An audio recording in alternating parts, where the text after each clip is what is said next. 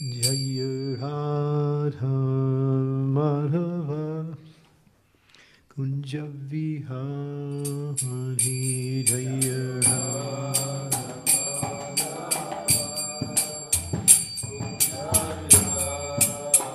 Jaya Radha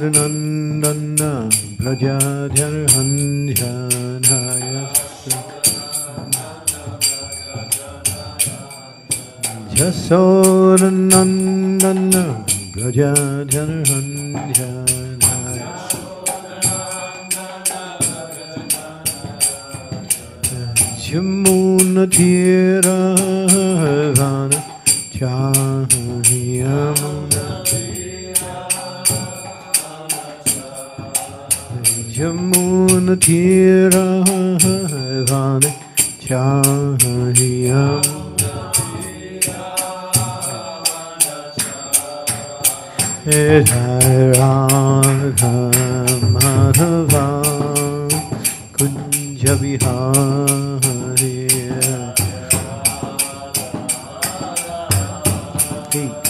Kunja Vihari Radha Madhava Kunja Vihari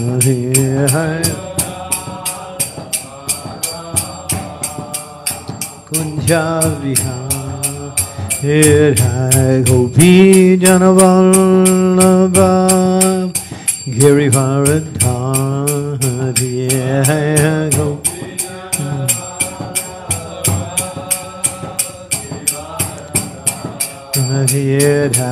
Gopi Janavallabha Girivaradhari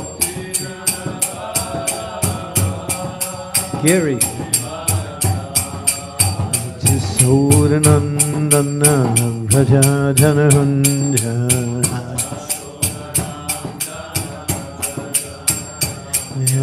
Yasodanandana Brajajanahunja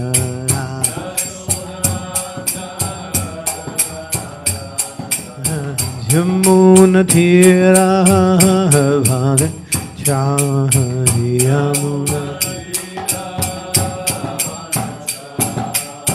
Jamuna Tira Bhane Chahiyamuna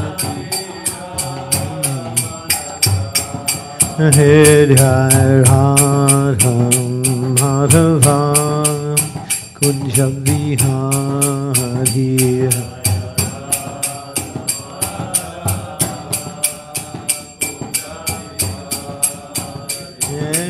Hare Krishna, Hare Krishna, Krishna Krishna, Hare Hare, Hare Rama, Hare Rama, Rama Rama, Hare Hare,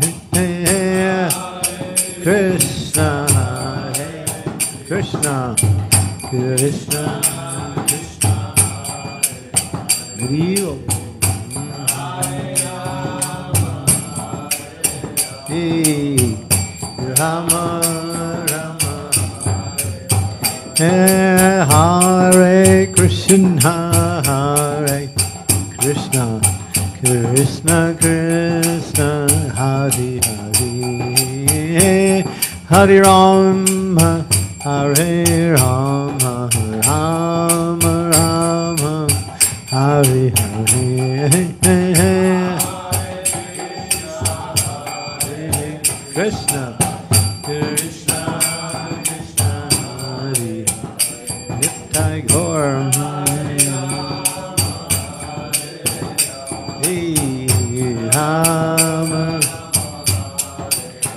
Hari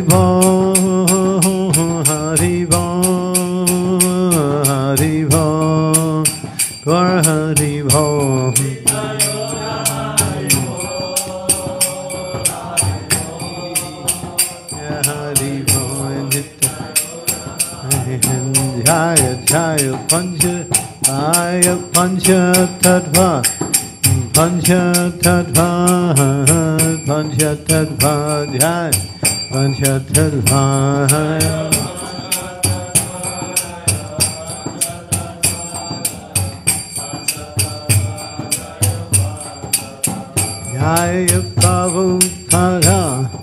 Pancha Tattva. Jaya Prabhupada, Prabhupada, Prabhupada, Jai, Prabhupada.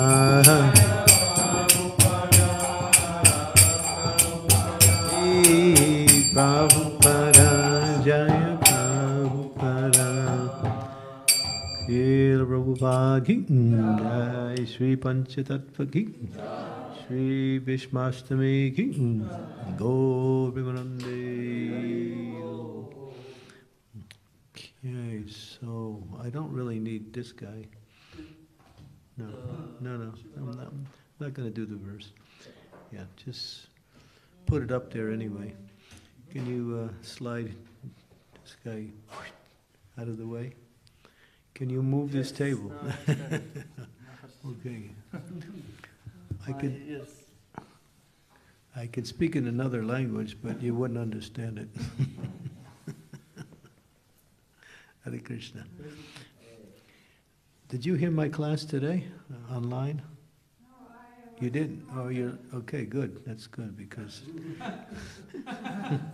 because it's the same class that I'm going to give again. okay. Okay. So today, Omagyan Timidandasya Ginajana Salakaya Chaksu Unmilitam Yena Tasmai Shri Gurave Namaha Ma'om Vishnu Padaya Krishna Prastaya Bhutale Shimakti Bhakti Vedanta Swami Iti Namane Namaste Saraswati Deve Gauravani Pracharine Nirvisesa Sunyavari Paschyatyate Starine Panchakalpa Tarubhascha Kripa Sindhu Bhevacha Patitanam Pavanebhyo Vaishnavebhyo Namaho Namaha Jai Sri Krishna Chaitanya Prabhu Nityananda Sri Advaita Gadadhar Srivasadi Gaur Bhakta Vrinda.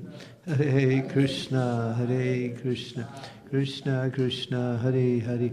Hare Rama Hare Rama Rama Rama Hare Hare. Hmm. So today and there's the next week is just a whole series of great personalities, appearances, disappearances, and we also have Rahadev, Lord Nityananda on Thursday, and then Madhavacharyas. We also have Ramanujacharya. All these coming up, and Ekadasi, all coming up within the next five or six days. So, chock full of nectar. So today is, uh, you know, Bhishmastami is a very important day because grandfather Bhishma Dev is actually a very, very, very great personality. So um, I'll narrate a little bit of the history of his appearance and some of his activities. Um, there was some problem in the heavenly planet, and uh, one sage, his name was Vashishta, and he had a Kamadhenu cow. So the Vasus, the mentions that there are eight Vasus, but somehow it seems like in this case there were seven Vasus. And the Vasus are just a, they're a particular type of demigod. Actually, it says in the Bhagavatam that if you want to get riches, money, you pray to the Vasus. Uh, they seem to give material opulence. So they had a they did a wrong thing. They stole Vashishta's Kamadhenu cow. And then Vashishta found out, and then he tracked them down and caught them all. And then he cursed them that all of you should, because of your offense, you have to take birth in the on the in the in the middle planetary systems. In other words, on this planet. So to come down here is a curse. We're thinking this is such a nice place, but to, to get take birth here is a curse. The demigods think, oh my God, those humans are suffering so much. Uh, so, but they pleaded with Vashishta, please, please, you know, we don't want to really go down there and suffer. He said, well, okay, but because you are repentant and you're offering, you're sorry for your offense, I can mo- modify it that you will take birth in the womb of Ganga Devi, personification of the Ganges River, and after your birth, soon as your birth, you will come back to the heavenly planets immediately. Except one. His name was Dyu, D-Y-U. Because he was the person that engineered the thievery, he will have to live a life on the heaven in the material world. But still, his life will be glorious. He will be a great scholar and a very expert martial artist, very adept in martial skills. So, one day, one particular king, his name was Shantanu. Shantanu, in his previous life, was a great king also. His name was Mahabhisha. And Mahabhisha had attained the realm of Brahmaloka. He, came here, he got all the way up to Brahmaloka after he finished his ruling of the earth planet. He was such a glorious king many good credits, many wonderful deeds. One day, uh, in the heavenly planets, Ganga Devi was there, and Ganga Devi, there was a wind blowing, and it blew her clothing a little bit off her body, and her body was exposed. All the sages and saints immediately turned their head another way, not to look, except Mahabhisha. he looked at Ganga Devi and stared at her. Brahma saw what he did, and therefore he became a little upset and said, "Because you have, you know, committed this uh, this wrong activity, you will have to be born again on the earth."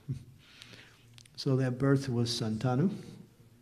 So he came down, and Santanu was a great king and he had no wife at the particular time, and so he was looking for a wife. So he went hunting in the forest and saw this beautiful, very attractive, very sweet looking, and very shy looking lady. And immediately, you know, the Kshatriyas, they're very attracted to women. As the nature of the Kshatriya Dharma, especially good looking ladies. And so he was mesmerized hypnotized by her beauty. And he proposed marriage to her. Uh, she was immediately attracted to him also. And she said, Yes, I'll agree to become your wife, but on one condition that anything I do, whether it's auspicious or inauspicious, you don't question that.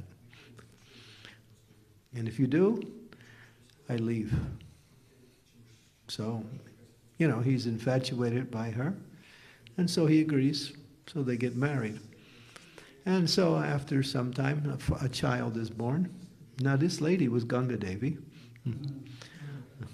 So uh, a child is born, and she takes the child and brings it to the Ganga River and throws the child in the river. And then the next year, another boy is born, second child, and she does the same. Third fourth, fifth, sixth. Every child that was born, immediately she took and threw into Ganges. These were the Vasus. They were finishing up their reactions and they went back to the heavenly planets.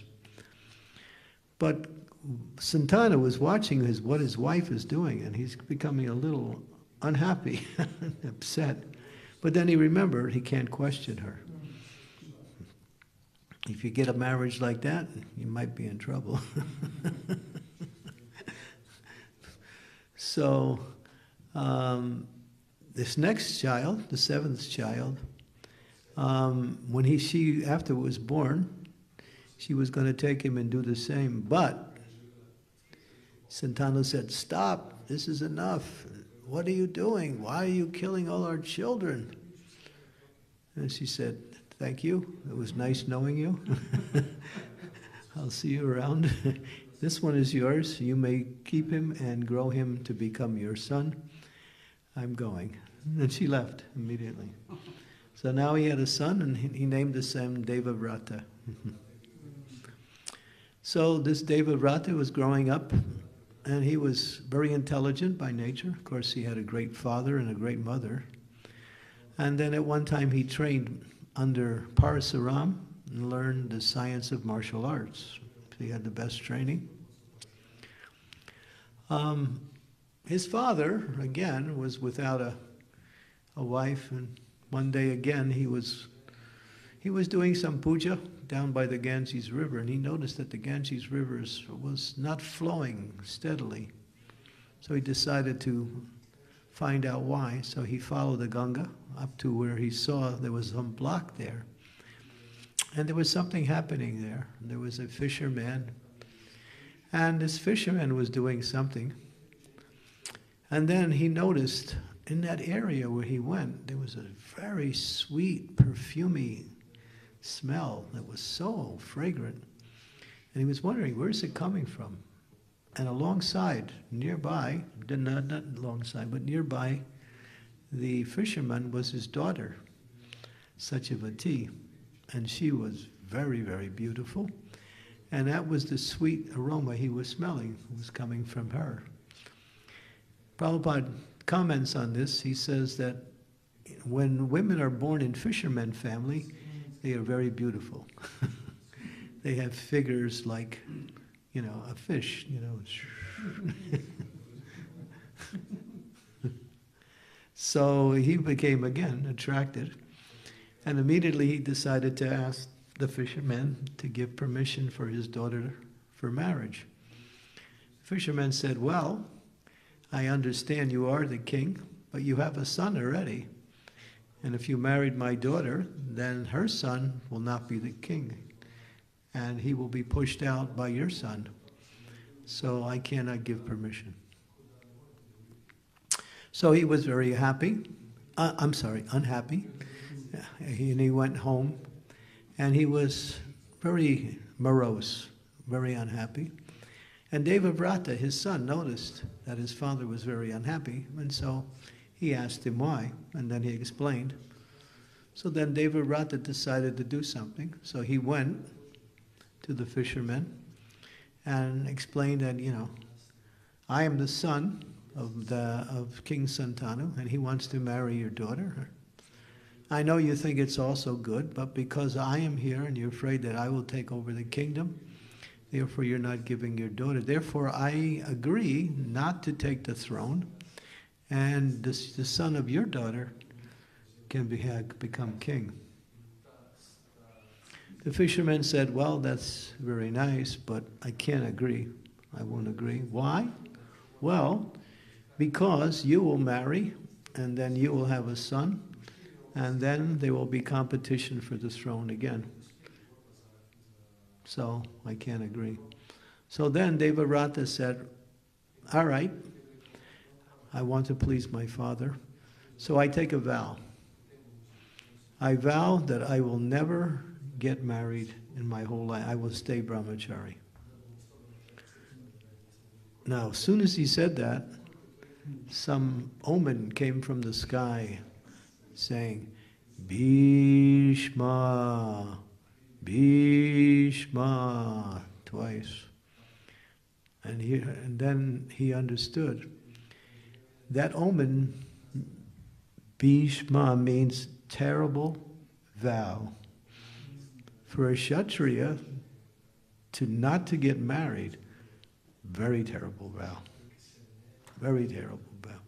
But he agreed. And then the fisherman said, Fine, if you agree not to have any children and not to take the throne, I'll give my daughter to your father. And so she went, they got married, and there was two sons, Chitra, Chitraganda, Chitrangada, Chitrangada was one of the sons, and Vichitravirya was the other son, was born from Santanu and Satyavati. Now, Citranga took the throne and became the king, but there was one Gandharva who became a little envious of Chitrangada because he had the same name as him. He didn't like him because he had the same name. so this Gandharva attacked him, and there was a fight, and the Gandharva killed the king. so now the king was killed, and there was nobody on the throne. So Vichitravirya was the only one left, and so he needed to get married. So Bhishma, who was Devavrata, now who became Bhishma, decided to find some wife for Vichitravirya. And so he went, and there was a sacrifice being performed, and there was some ceremony, some festival, and he came and he kidnapped three sisters, Amba, Ambili, Ambalika, and Ambika. Amba, Ambalika, and um, Ambika, yeah. Three sisters. And he brought them back to get married to his, uh, you could say his stepfather or stepbrother. Yeah, stepbrother. Uh, but Vichitravirya was, he became very, very ill, and soon after that, but even before the marriage, he died. A wonderful story. Mahabharata. Yeah. So he died. So now what to do? So which, uh, now um, Satyavati, she had, she was, she was previously married to um, Par, Parasara Muni. And they had a child, and that child was Vyasadeva, the original author of the Vedas, Vyasadeva.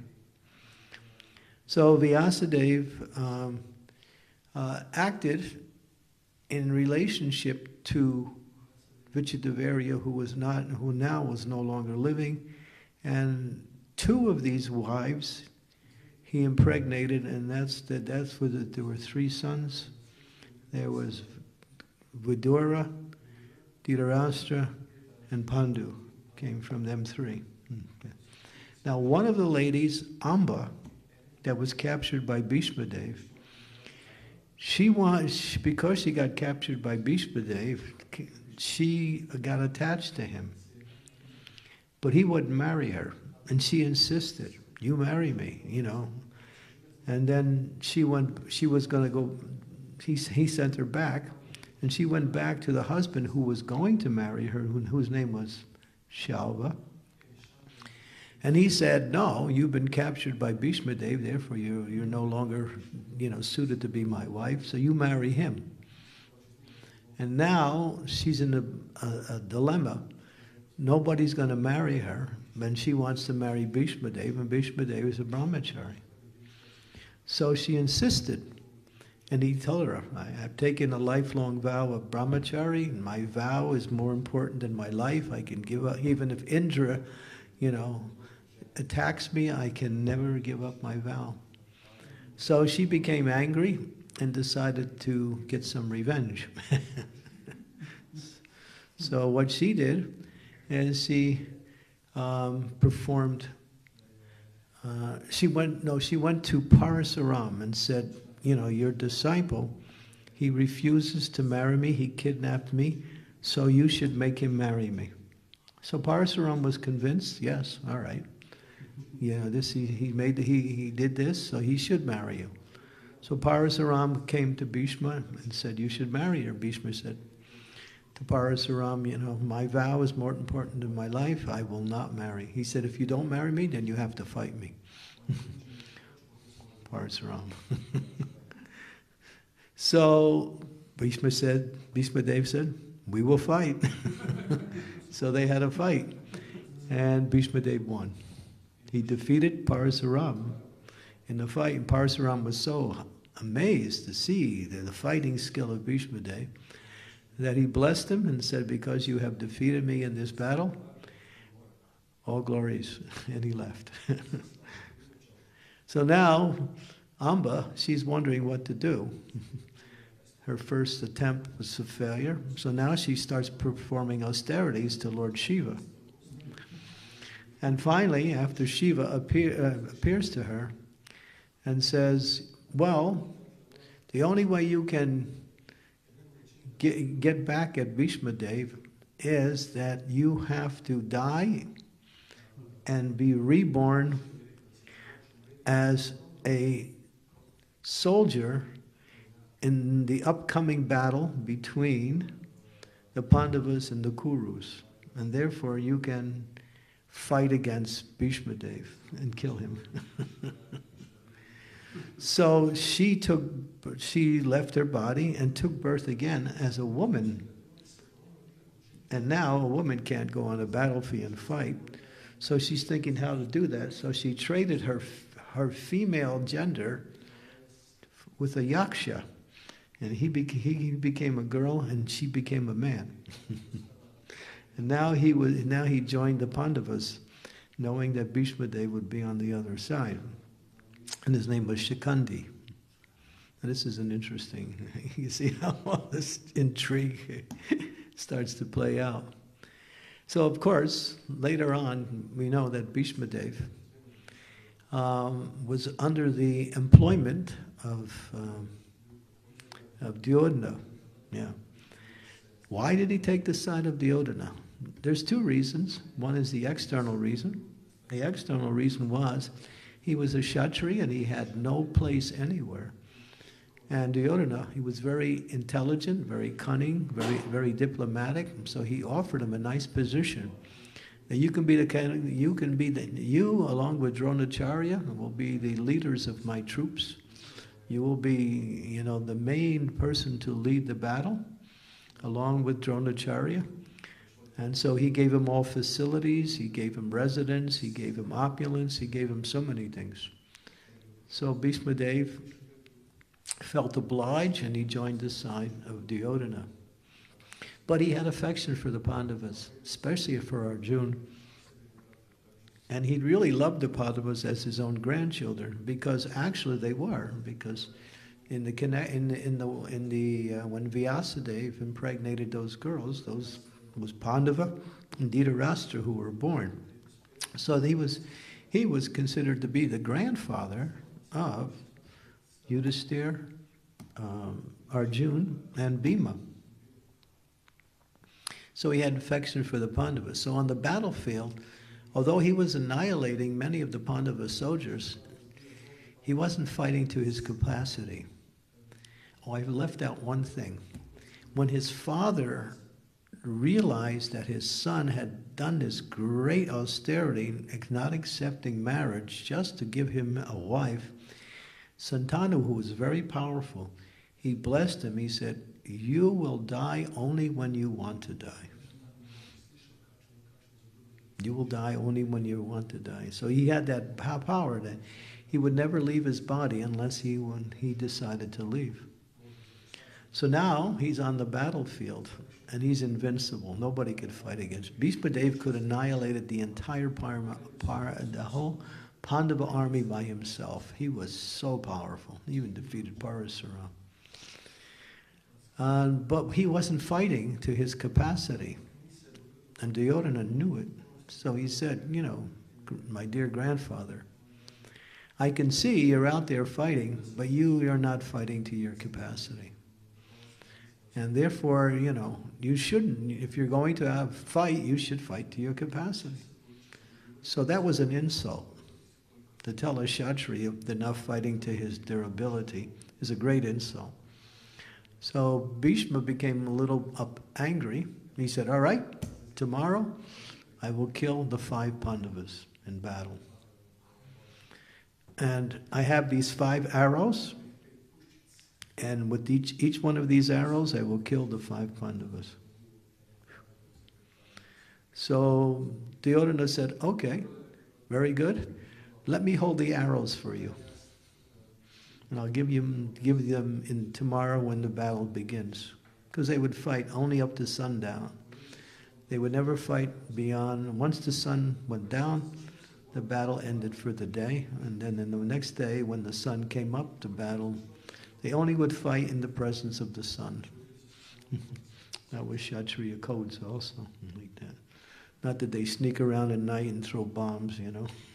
they were, these were Kshatriyas. They had, they had honor, they had valor, they had religion.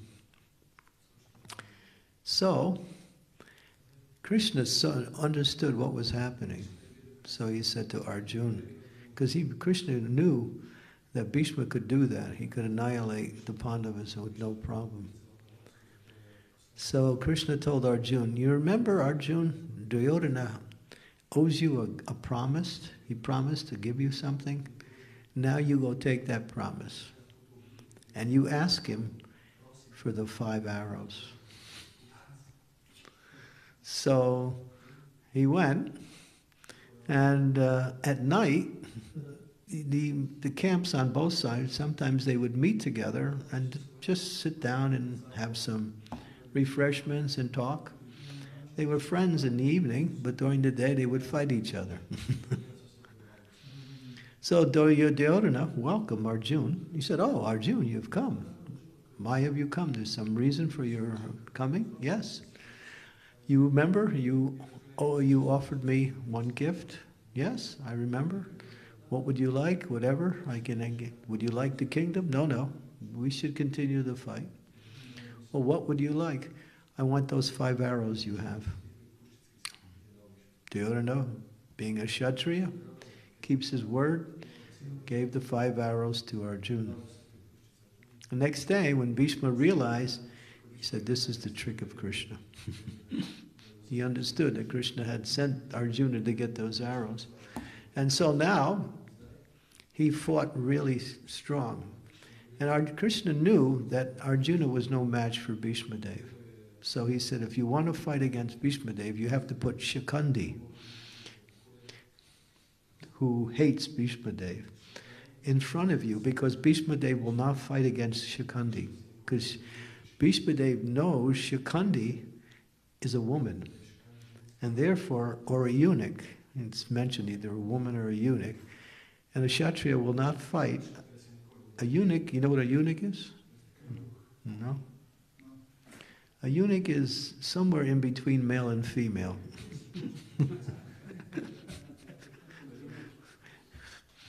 He's like a male, but he has no no male propensities.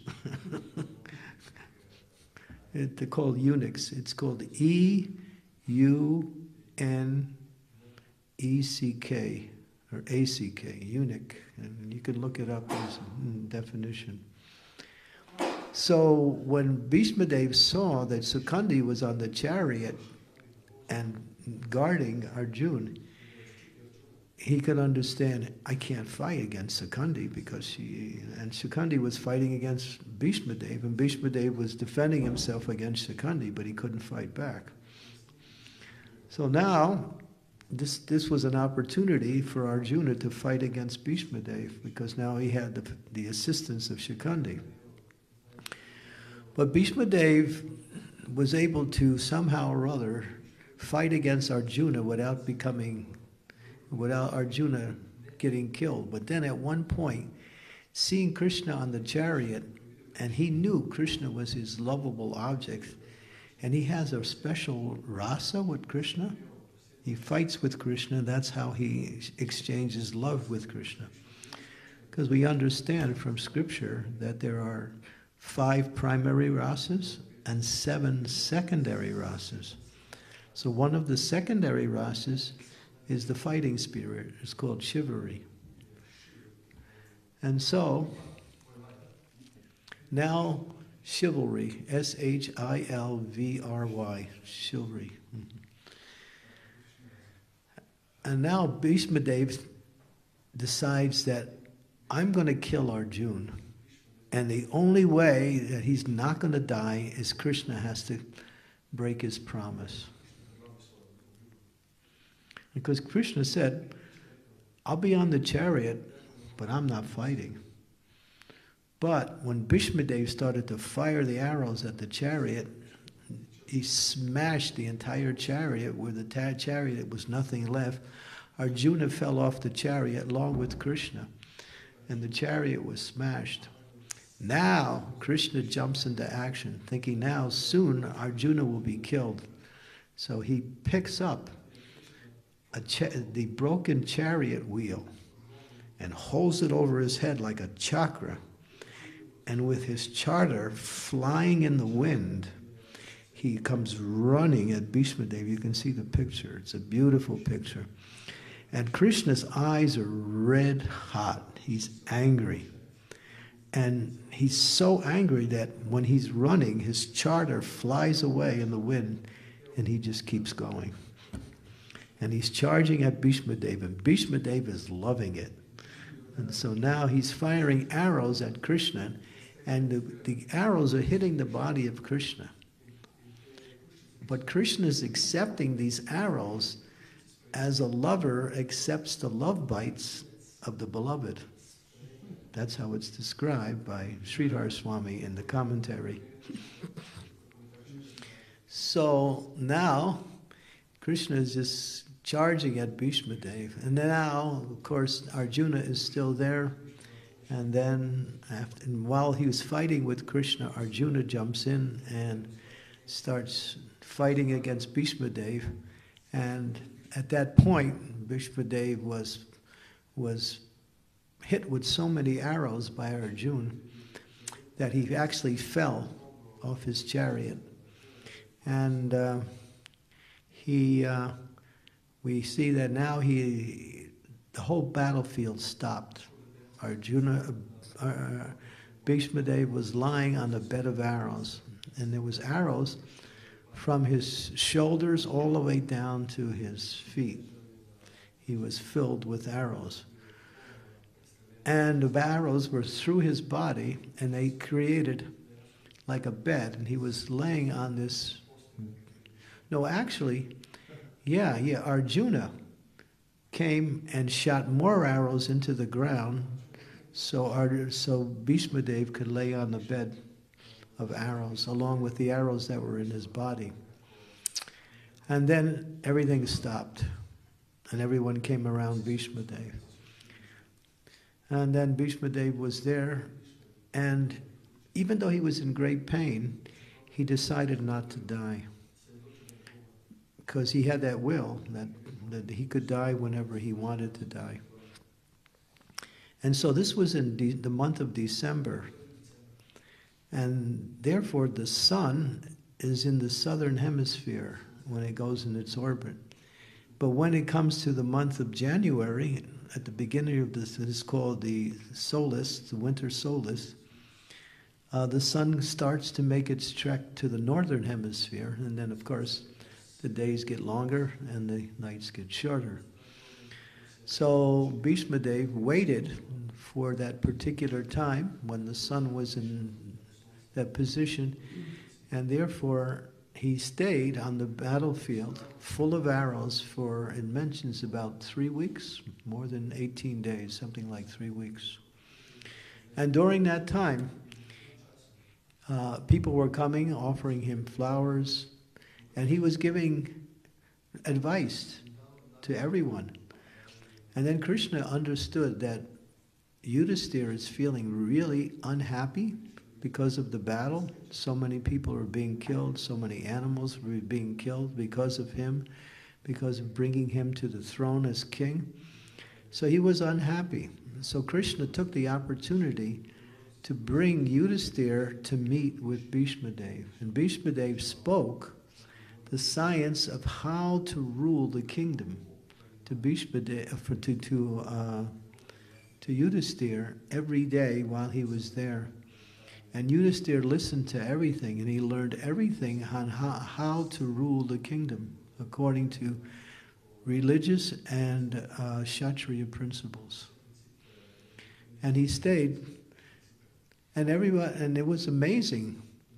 At that time, Duryodhana came, and Duryodhana offered um, Bhishma Dev some water, cool water to drink, because you know he was suffering from those arrows. He refused. Although he was very thirsty and wanted water, when Duryodhana came to bring him water, he refused the water. Then Arjuna understood. So Arjuna shot an arrow into the ground, and when he did, a well came up and water came up, and with that water, he gave it to Bhishma, and Bhishma accepted it. Because Bhishma wanted to tell Arjuna, Duryodhana, I'm not with you, I'm with the Pandavas. that was the message. And so this went on, and then, uh, of course, uh, uh, it's described in this uh, chapter here. Uh, Bhishma talking about the different classes of describes counteraction, detachment, attachment, so many things. Um, Bhakti Tirtha Swami Maharaj wrote two books called Leadership, Leadership 1 and Leadership 2. In the second book, he very carefully goes through the whole science of what Bhishma Dev gave to Yudhisthira. So if you want to learn what the actual details of those instructions were, it's in Bhakti Tirtha Swami's book Leadership too. Of course, you can find these same principles mentioned throughout the Bhagavatam, but they're not in one place. They're in various places, like that. So some people ask, why did Bhishma Dev take the side of Duryodhana? And as I mentioned, there was a, there's a hidden reason that people don't know of. And then later on, it was revealed by the acharyas that Bhishma Dev did this externally because Duryodhana was, was maintaining him, but the internal reason, the real reason, the essence of his taking the side of Duryodhana was that he wanted to teach the world a lesson, a big lesson. What was that lesson? That no matter who you are, no matter how powerful you are, no matter how successful you are, no matter what you have, if you are against Krishna, you lose. That was the message. Because no one could defeat Bhishma Dev. But he wanted to show that even I am invincible, but still, being against Krishna means you lose. So this is a very powerful message for all the devotees everywhere in the world that as long as we take shelter of Krishna, as it, what is the last verse in the Bhagavad Gita? Huh? Yatra. Mm-hmm. Can someone give the translation of that last verse in the Bhagavad Gita? Hmm. Yeah.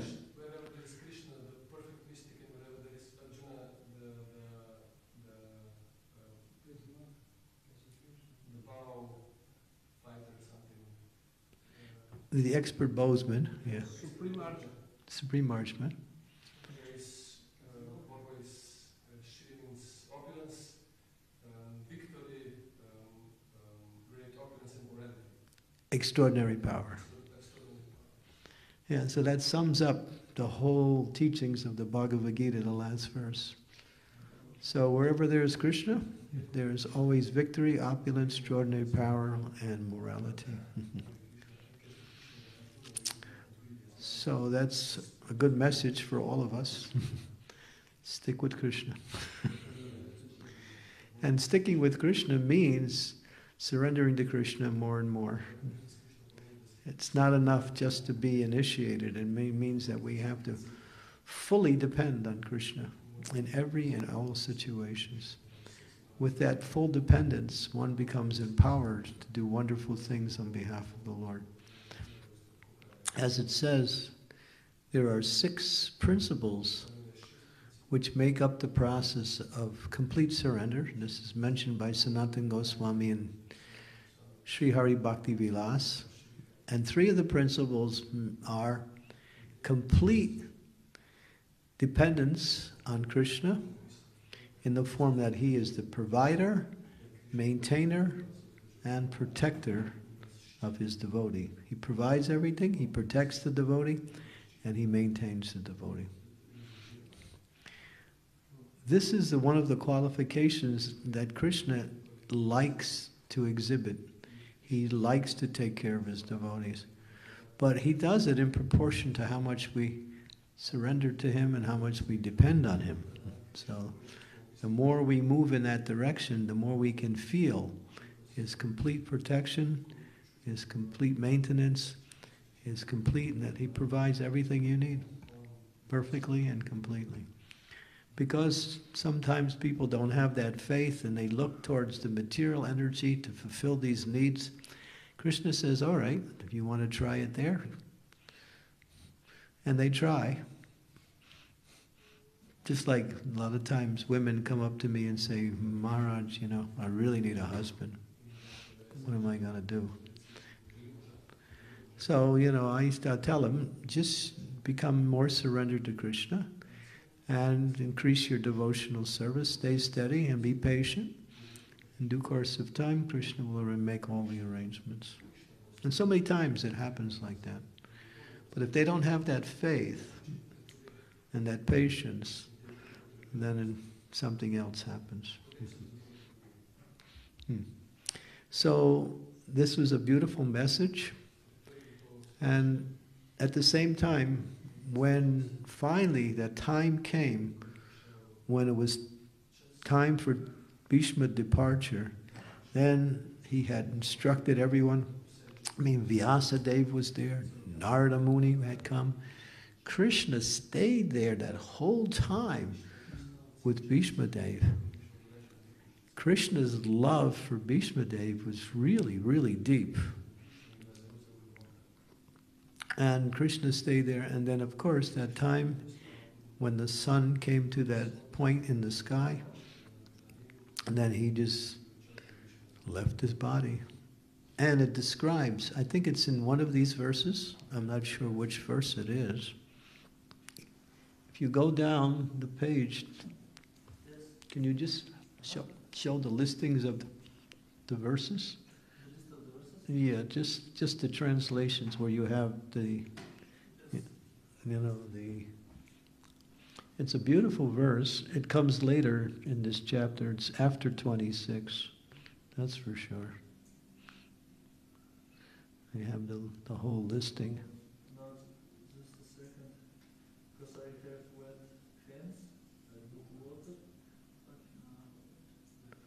Well, you have a dhoti, just wipe it on the dhoti. That's what dhotis are for.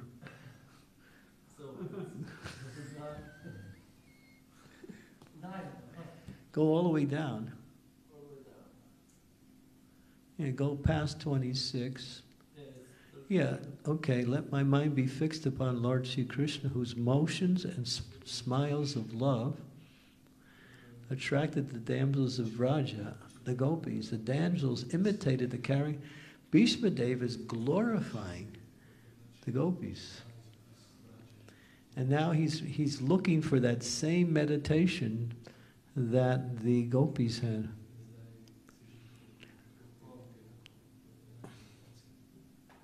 And then next verse was he mentions the Rajasuya sacrifice, then go down farther. 42. There, this 40, now I can meditate with full concentration upon that one Lord Sri Krishna now present before me, because now I have transcended all the misconceptions of duality in regards to his presence in everyone's heart. It says, yeah, even in the hearts of the mental spec, he is in everyone's heart. The sun may be perceived differently, but the sun is one. Next verse. This is the beautiful verse. Knowing that Bhishma Dev had merged into the unlimited eternity of the Supreme Absolute, all present there became silent, like birds at the end of the day. Beautiful. When the birds become silent, and the day is ended, and everything becomes peaceful. So this was grandfather Bhishma Dev, and he he he merged, or he he he he came into this the super soul, as it mentions here. He his mind and speech and action thus became, and he actually came into the unlimited eternity of the supreme absolute truth, the super soul. So he realized Krishna as the super soul. And so he attained that stage of realization. It's a really beautiful chapter. If you read the whole chapter, you'll be really amazed. And this is that in this chapter, the fighting between Krishna and Bhishma Dev is also mentioned. So Bhishma Dev, he's one of the 12 Mahajans. Mahajano Yena Katasapanta, Tarko Pratishte Sutina Vibindam, Nashim Nasha return, mm, Tato Griha and Nihitaya Grihadam. What is that verse? Tarko Pratishte Sutina Vibindam. This verse is very important. Tarko Pratishta Sutina Vibindam, Sutinam Vibindam. It's from the Mahabharata. Uh, it's mentioned in different places in the Bhagavatam. Tarko is the first word.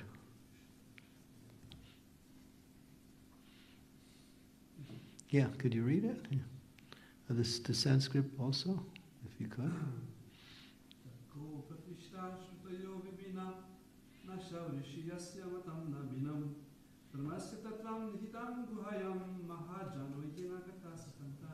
Mahajano Yena Katasapanta. That translation is, this translation is really quite unique. This is quoted in Madhya-lila 17.186. Dry arguments are inconclusive. A great personality whose opinion does not differ from others is considered as a great sage. Simply by studying the Vedas, which are variegated, one cannot come to the right path by which religious principles are understood. The solid truth of religious principle is hidden in the heart of an unadulterated, self-realized person. Consequently, as the Shastra confirmed, one should accept whatever progressive path the Mahajanas advocate. Yeah. Yeah, so by studying the Vedas, you cannot come to the conclusion. One has to understand the truth of religious principles because they're hidden in the hearts of the great souls. Mahajano Yenagadasa Panta. Panta means path. And so for us, we follow Srila Prabhupada. and you might see differences between the acharyas, some of the things, not, not complete differences, but you'll find differences in all of the acharyas, but one has to follow their spiritual master, their pure devotee spiritual master. Great souls, acharyas, not just a spiritual master, but one is acharya. But here it mentions the Mahajans. So there are 12 Mahajans Brahma, Narada, Shiva, four Kumaras, uh, Kapila, Prahlad, Janaka, Bhishma, Yamaraj, who else? Uh, uh, Sukadeva Goswami. So there are 12 authorized persons to teach the principles of and Bhishma Dev. Bhishma Dev is one of the nine, one of the 12 Mahajans too. So he's not a small personality. Although he was a great fighter, king, he's still. And in the Bhagavatam, in one section in the first canto, the principles that Bhishma Dev taught as a Mahajan are very nicely described. They're described there. So you can learn what he taught. Mhm. And he said, one thing about love, he said, love means to repose all of one's affection on one personality. Hmm. That is love. Jai Sri Sri Panchatattva Ki Jai. So, thank you for the opportunity. I feel great happiness speaking about Bhishma Dev. It's hmm. just, he's so, such a wonderful personality. His life, everything about it was glorious.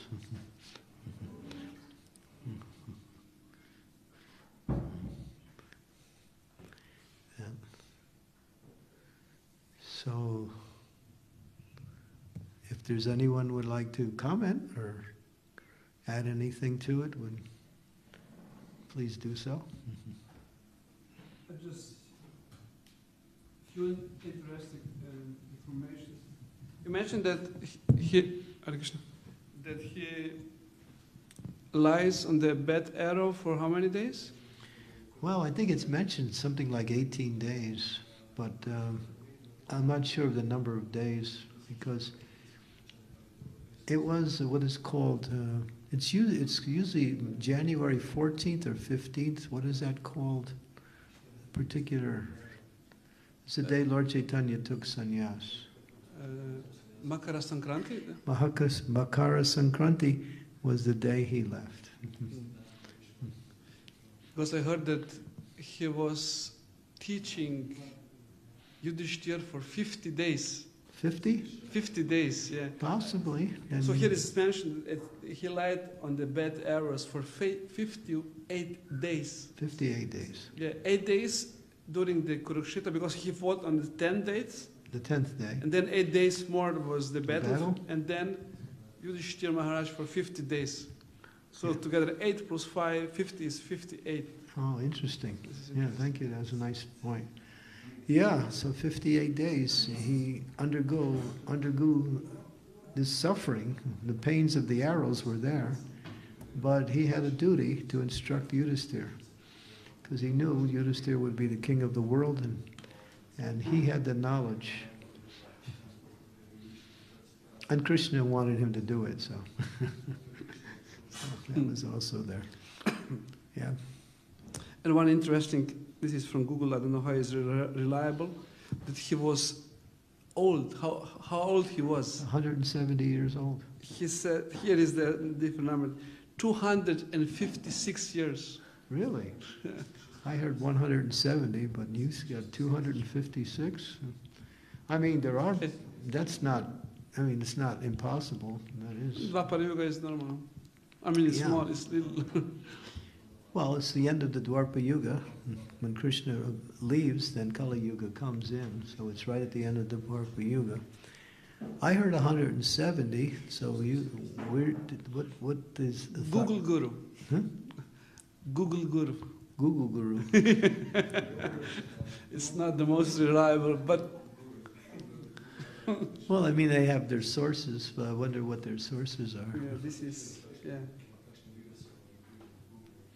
It's, they are age, um, his birth and his, um, his death uh, uh, uh, years. 256, huh? Okay. Nice number. but he was old. Yeah, that's why he was called grandfather. yeah, he was the Pitamaha, no? Pitamaha. Pitamaha, yeah, Pitamaha. Great grandfather. Yeah. Pit, Pita means father, Pitamaha means grandfather. Yeah, great friend, great grandfather, I think. Yeah, and he, but he had such affection for the Pandavas. Okay, so thank you for that additional knowledge. Okay, we'll stop here and uh, Hare Krishna. Srila Prabhupada ki. His Holiness Chandramouli Swami Maharaj की जय